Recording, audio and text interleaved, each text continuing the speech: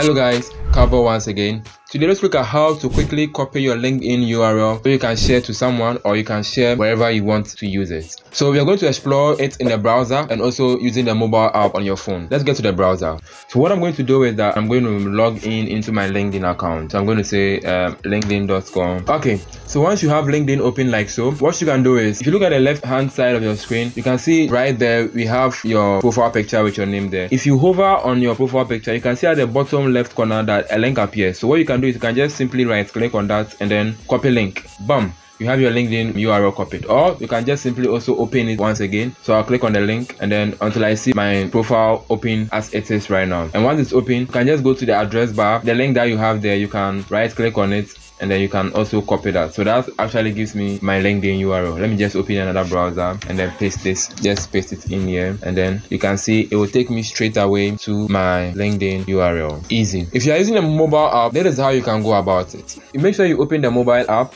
I'm going to do so. Once you have the mobile app open, what you want to do is you want to navigate to your profile. So you can look at the profile picture at the top left corner of the screen. You can just click on that like so and that brings the side navigation in where you see your name as usual. Once again, click on your name and then it brings you here. Now look at this. So on your smartphone, you can see where we have open to add section and a three column dot there. If you click on that three column dot, what you find is that you have share profile via message okay? Don't take that. We also have the option that says share profile. And once again don't take that because usually that gives you a url that is very long and ugly okay? You want something very short and sweet. But what you can do is that you can click on the three dots again. If you click on that choose contact info click on contact info like so. It opens up this place and the first one is your profile. So with that you can just click on it and it gives you the option copy open share it and then cancel. So you just copy that one and then you've copied your linkedin url on your phone. So whether you're applying for a job you are networking with someone or you just want to use your linkedin url just for anything that you want to use it for this is a quick way to go about it whether using a pc or a smartphone. Make sure you like this video but if you're looking at how to get a custom linkedin url that is not very long with random characters and something that just has your name click on this video